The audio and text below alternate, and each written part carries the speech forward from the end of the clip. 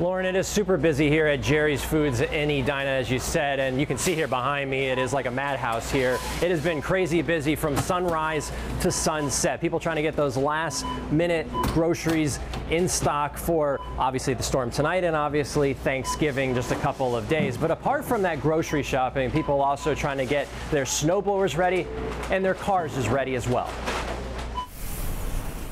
Big crowds and long lines at Edina's Jerry's Foods for Thanksgiving. Right now, I'm looking for Fritos, and I couldn't find them the other day either. Do you know where the Fritos are? Barb, though, is doing some winter storm shopping.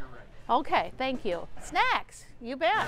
Just in case. Make sure I don't run out of anything over the, with, during the storm. On top of food shopping, then your snowblower will still last you. St. Paul's Merriam Park repairs phones are ringing off the hook. What can we do for you? People needing last minute snowblower repairs. Well, it's inevitable. Bringing everybody in the door.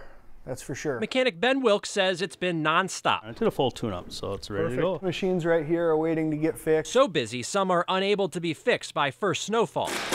Oh, and don't forget your car tune-ups. This week we've been doing 15 to 20 cars a day at this location alone. Ethan Derry's crew at Signal Garage Auto Care is doing what we call winterizing cars. You know, once, once snow comes into the picture, uh, tires are the big thing. It's definitely tire season. All in all, a busy Tuesday.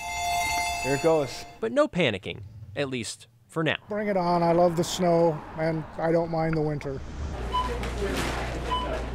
Yeah, very busy day indeed. I did speak to the manager here at Jerry's Foods. Despite what happens with this storm tonight, he hopes to be open, expects to be open until midnight tonight, and then whatever happens, he expects to be back open at 6 a.m. tomorrow with all those last minute shoppers.